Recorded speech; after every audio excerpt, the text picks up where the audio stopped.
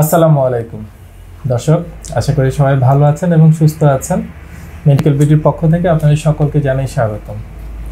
দর্শক, আজকেও আমাদের সাথে এখানে উপস্থিত আছেন সেটে আমাদের একজন প্রবাসী ভাই, যিনি দীর্ঘদিন যাবৎ প্রবাসে আছেন। বাংলাদেশে হচ্ছে ওনার বৃহত্তর নোয়াখালী জেলাতে ওনার বাড়ি। জীবিকার প্রয়োজনে ওনাকে যেতে হয়েছিল। এবং বাংলাদেশের জন্য যা সবচেয়ে বড় যে সম্পদ সেটা হচ্ছে রেমিটেন্স সেই রেমিটেন্সের যোগান দেন যারা। তারা দেখা যাচ্ছে যে বিভিন্ন সময় বিভিন্ন ঝুঁকিপূর্ণ কাজে যখন অংশগ্রহণ করেন, অনেক সময় দেখা যাচ্ছে তাদের সেফটি থাকে, অনেক সময় সেফটি ছাড়া তাদেরকে কাজ করতে হয়। এবং এই কাজগুলো করতে গিয়ে মাঝে মাঝে দেখা যাচ্ছে বিভিন্ন ধরনের বিপত্তি তৈরি হয় এবং অনেক ক্ষেত্রে তারা তাদের নিজেদের জীবনের ঝুঁকি পর্যন্ত নিয়ে থাকেন। এবং কোনো কোনো ক্ষেত্রে দেখা যাচ্ছে যে আজীবনের জন্য তারা পঙ্গুত্ব বরণ করেন। বাট এই ধরনের সমস্যাগুলো, কিছু কিছু সমস্যা আছে যেগুলো আপনার খুব সহজেই নিরাময়যোগ্য যদি তারা সঠিক সময়ে সঠিক ট্রিটমেন্টটা গ্রহণ করেন। ট্রিটমেন্ট যদি তারা নিতে পারেন এবং সুস্থ স্বাভাবিক জীবনে আবার ফিরে আসতে পারে। আমাদের আজকে যিনি আমাদের সাথে এখানে উপস্থিত আছেন, ওনার নাম হচ্ছে আব্দুর রব সাগর। বয়স খুবই কম, মাত্র তেতাল্লিশ বছর বয়স। ওনারও জীবনে এরকম একটা ছোট্ট দুর্ঘটনা ঘটেছিল এবং যেটার জন্য ওনাকে দেশে ফিরে আসতে হয়েছিল।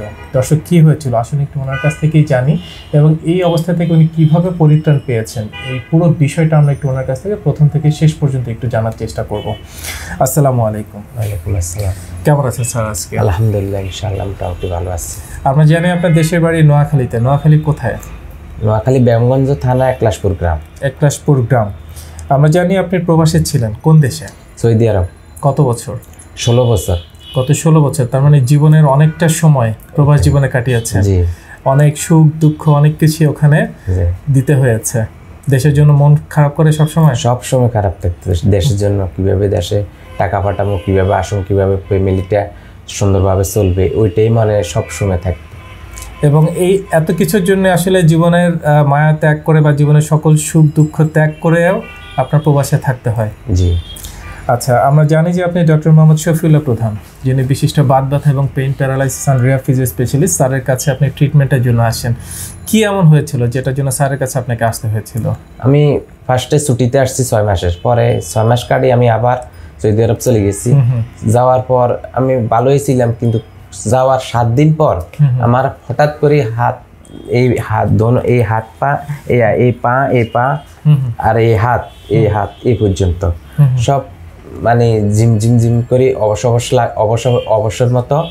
হ্যাঁ কিছুক্ষণ হাঁটলে আর হাঁটতে পারি না আর বাসায় এই বসে থাকি কাজ টাজ কেমন করতে পারি না মালিকের সাথে কাজ করি এখানে গাড়ি চালাই। তো মালিককে বললাম যে কোম্পানি এর মালিককে বললাম যে আমি তো মানে এমনি অসুস্থ হয়ে গেছি এখন আমি কি করব? তো আচ্ছা। উনি আমারে ওইখানে ডাক্তার দুইটা তিনটা দেখাইছে। অনেক ডাক্তার দেখাইছি ওইখানে কোনো পয়সা খরচ গেছে কোনো লাভ হয়নি। আচ্ছা। তারপরে আমি ডিসিশন নিছি যে আমি ইউটিউবে আপনাদের এগুলা সার্চ দিছি ডক্টর শফিউল্লাহ প্রধানের এগুলা দেখি দেখি। আমি ওইখানে ওইখানে যাইলে ইনশাল্লাহ আমি ভালো হয়ে যাব। আচ্ছা। আমার এই ইয়েটার জন্য আমি ওইখানে যাব। তো আমি তিন চার মাস পরে আমি ওইখানে চলে আস এখানে চলে আসছি। ঢাকা বিমানতর নামিয়ে মতন আমি ওই স্যারের সাথে দেখা করি। যখন প্রথম আপনার এই সমস্যাটা শুরু হয় আপনি বলেছিলেন ছোট্ট একটা অ্যাক্সিডেন্ট হয়েছিল। সেই দিনের ঘটনাটা যদি একটু বলেন কি হয়েছিল? ওই আমি একটু ফ্রিজ থেকে ফ্রিজে ডিপ ফ্রিজের মাধ্যমে মাছ রাখছি আর কি। আচ্ছা। বড় মাছ। তো বড় মাছটা ওই উঠাইতে গিয়ে পিঠের মধ্যে একটু সাপ খাইছে। আচ্ছা টান লেগেছে টান প্রচণ্ড টান টান লেগেছে। এই এরপর থেকে থেকে একদম দেখেন যে প্রচণ্ড ব্যথা। ব্যথা। ব্যথাটা কতক্ষণ ছিল? এই ব্যথা অনেকক্ষণ ধরেন দুই তিন ঘণ্টা থাকতো। দুই তিন ঘণ্টা? হ্যাঁ। আচ্ছা তারপরে দেখেছেন ধীরে ধীরে ব্যথাটা কমে গেছে? কমে গেছে। পরে আবার ইয়ার পরের দিন আবার আসে। আচ্ছা। এরকম করি আর হাত পা ঘুমাইলে রাত্রে ঘুমাইলে হঠাৎ এক সময় যা ঘুম আসে না। এক সময় অস্থির অস্থির। মানে ফেরেশান। যে এত আচ্ছা। ফেরেশান আর বলতে নেই। কি হলে কি হইল কোন অসুখ হইল কোন কি হইল আমি বুঝতে পারি না।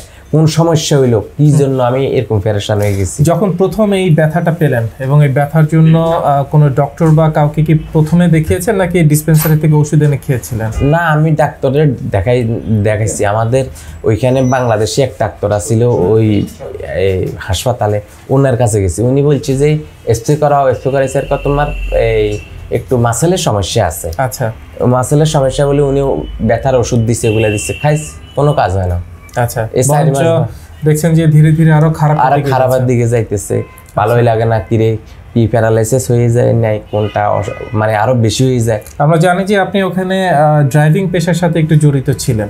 তো এই ড্রাইভ করার সময় কি কোনো কষ্ট হতো বা দীর্ঘ সময় বসে যে ড্রাইভ হ্যাঁ ড্রাইভিং করলে যখন গাড়ি যাত্রাইতো অথবা কোন অনেকক্ষণ বসে থাকলে এই এখানে পি ব্যথা ব্যথা শুরু হয়ে যেত। তখন আর আপনার যে নিয়মিত কাজ আর করতে পারতেন ইচ্ছে করে না আর মনে কর আর কোথায় যাই কি করি বিদেশে চলে যাই। যে আর বিদেশে থাকতে পারব না শেষ এগুলোই চিন্তা কখনো কি এরকম হয়েছে যে রাতের পর রাত হয়তো শুয়ে আছেন ঘুমিয়ে আছেন কিন্তু আপনার ব্যথা যাচ্ছে না ব্যথার জন্য ঘুমাতে পারছেন না এরকম হ্যাঁ মানে ব্যথাতে মানে ইয়ে করতো না ওই ঘুমাইলে ঘুমের মধ্যে হাত পা অবশ্যই বন্ধ হয়ে যাওয়ার লাগে বন্ধ হয়ে যাইতেছে ওই টাইমে উঠি বসে যাই। সর্বোচ্চ খারাপ কি হতো আপনার? সারাক্ষণ ঝিনঝিন যে সারাক্ষণ জিম জিম করতে হাঁটতে পারতাম না এক কিলো দুই কিলো হাঁটলে বাসাতে আসি বসলে এ লাজেন আর এগুলাতে পায়ে শক্তি নাই। শক্তি নাই বল নাই আমি গেছি মনে হয় যে পা মানে আপনার শরীরের কোনো অংশ না? অংশ না এরকম হয়ে যায়।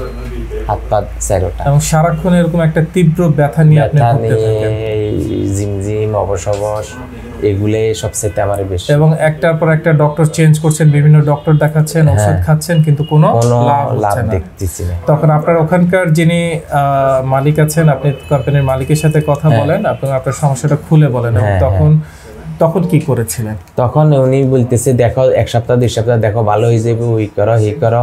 তুমি আসছো এখন তো আবার ছুটি কাটে আসছে এখন আবার কীভাবে যাইবে টাকা পয়সার সমস্যা। তারপরে আমি কই আগে জীবন বাঁচলে আগে জীবন বাঁচলে তারপর সবকিছু। সবকিছু আমি আর থাকব না। কারণ আপনার এমনটাই মনে হচ্ছিল যে প্রায় আপনি একরকম প্রায় পঙ্গুত্ব বরণ করছেন এরকমটাই লাগছে যে প্রায় লাগে যে আমি আর মনে হয় আমার হাত পা মানে বন্ধ হয়ে যাবে আমি আর হাঁটতেই পারব না।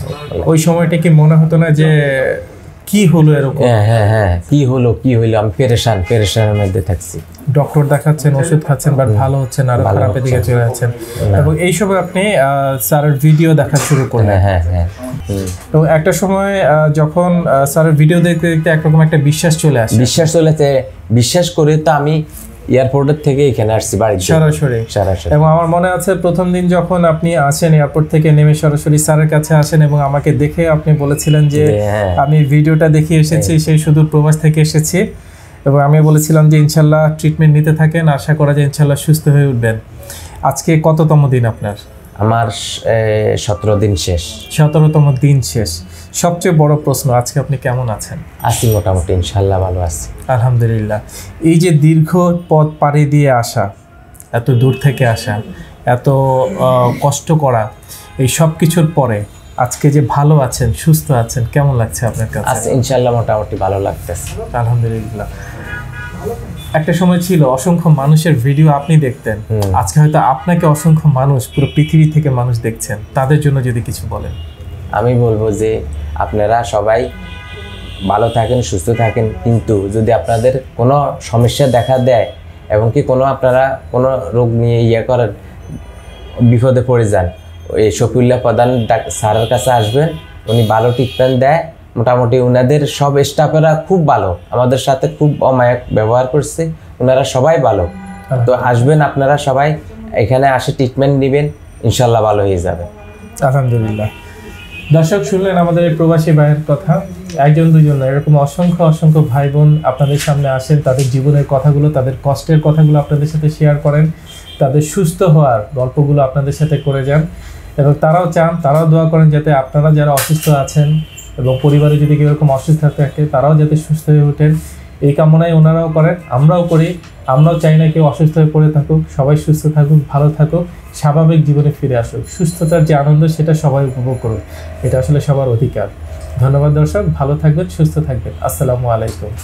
আপনাকে অসংখ্য অসংখ্য ধন্যবাদ। আসসালামু আলাইকুম। আসসালামু আলাইকুম।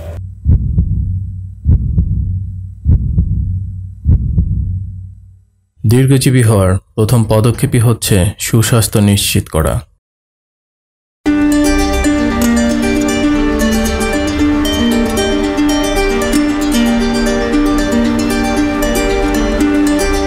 দেহ ও মন ভালো থাকলেই ভালো থাকে স্বাস্থ্য। আমাদের রয়েছে আধুনিক যন্ত্রপাতি। সঠিক ও স্ট্যান্ডার্ড মানের প্যাথোলজি পরীক্ষার নিশ্চয়তা। আমরা রোগীদের প্রতি খুবই যত্নশীল ও আন্তরিক।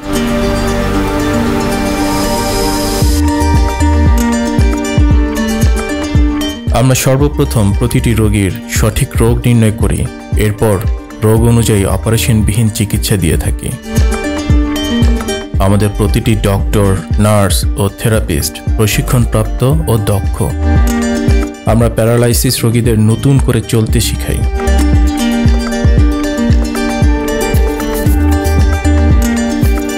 আমরা আপনাকে সর্বোচ্চ মানসম্মত আধুনিক চিকিৎসা সেবা প্রদানের নিশ্চয়তা দিচ্ছি। আমরা বিশ্বাস করি আপনি এখানে আপনার নিজ পরিবারের মতোই সেবা পাবেন।